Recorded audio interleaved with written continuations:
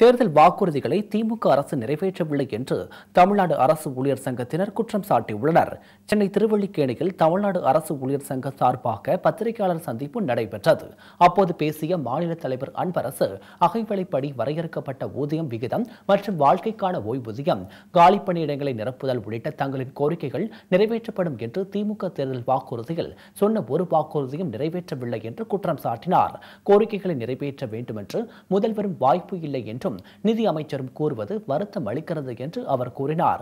எனவே தங்களின் கோரிக்கைகளை முன்னிறுத்தி வரும் ஜூன் மாதம் இருபதாம் தேதி ராமேஸ்வரம் கன்னியாகுமரி தருமபுரி நீலகிரி நாகப்பட்டினம் புதுக்கோட்டை திருவள்ளூர் ஆகிய மாவட்டங்களில் உள்ள மையங்களில் ஐந்து நாட்கள் ஊழியர்கள் சந்திப்பு பிரச்சாரம் நடத்த திட்டமிட்டுள்ளதாகவும் ஜூலை மாதம் இரண்டாம் தேதி போராட்ட ஆயத்த மாநாடு மற்றும் கருத்தரங்குகள் நடைபெற உள்ளதாகவும் அரசு ஊழியர் சங்க மாநில தலைவர் அன்பரசு கூறினார்.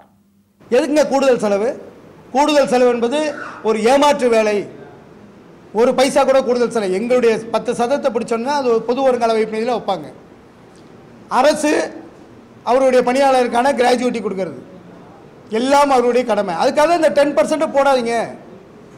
எனவே வந்து கூடுதல் செலவு என்பது பொதுமக்கள் மத்தியில் அரசூழியர் மீதான ஒரு தவறான அவதூறு பிரச்சாரங்களை கிளப்பிவிடக்கூடிய நடவடிக்கையில் ஈடுபடுறாங்க. இதெல்லாம் நாங்கள் வரக்கூடிய இருபதாம் தேதி ஆரம்பித்து நாங்கள் வந்து மக்கள் மத்தியிலையும் ஊழியர் மத்தியிலையும் பிரச்சாரம் பண்ணும் பொழுது நிச்சயமாக மிக விரைவில் முதல்வர் அந்த தேர்தல் வாக்குறுதியை நிறைவேற்றுவதற்கான ஒரு அழுத்தம் கொடுக்கணுன்ற இருக்கோம் இன்றைக்கும் நாங்கள் பேசும் பொழுது அவர் மீது நம்பிக்கை இருக்குது